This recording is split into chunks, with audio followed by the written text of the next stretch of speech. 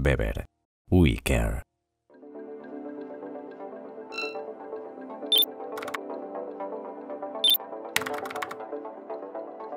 Hola, soy Juan Manuel Gazquet, monitor de Sangobain Beber, y en el vídeo de hoy vamos a ver cómo realizar un acabado mineral en capa fina sobre un sate.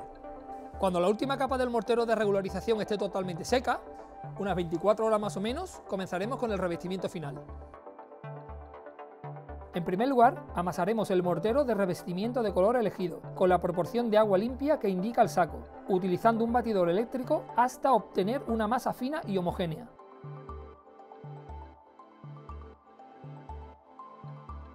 Aplicaremos una primera capa de producto en espesor mínimo de un milímetro, extendiéndolo con una llana de acero inoxidable sin detenernos. A continuación, colocaremos la malla de refuerzo sobre la primera capa de producto en fresco, presionando suavemente con el paso de la llana para que quede bien anclado al mortero. Los tramos sucesivos de malla deberán solaparse entre ellos unos 2 centímetros para garantizar el refuerzo de toda la superficie sin juntas ni zonas sin armar. Una vez colocada la malla por toda la superficie, dejaremos secar. Ya ha secado la primera capa del mortero de revestimiento, así que podemos comenzar con la segunda mano.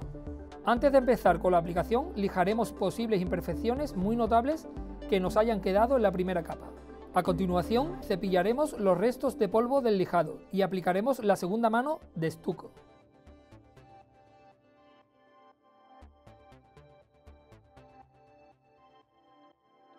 Ahora que nuestro revestimiento ha secado por completo, lo protegeremos con un hidrofugante que nos ayudará a mantener nuestra fachada limpia y protegida frente a la lluvia y la suciedad.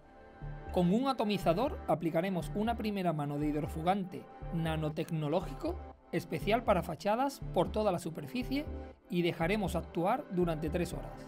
Aplicaremos una segunda mano de producto de la misma manera que la primera. Ya hemos aplicado el producto, ahora esperaremos 24 horas a que seque y regaremos con agua para ver el poder hidrofugante que tiene podemos ver que la zona donde se ha aplicado el protector hidrofugante no absorbe el agua y que ésta queda en superficie en forma de gotas de agua, sin llegar a penetrar, mientras que la parte desprotegida, el agua es absorbida por el revestimiento. Ya hemos terminado el revestimiento y nuestra fachada está aislada y renovada. Si te ha gustado el vídeo, recuerda dar like y suscribirte a nuestro canal. Y como siempre, para contactar con nosotros a través de nuestros canales habituales.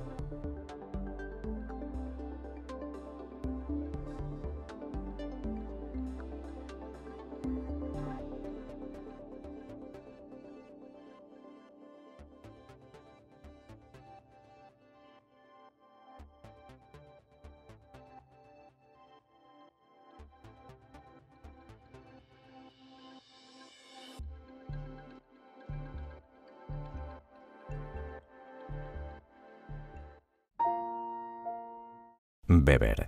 We care.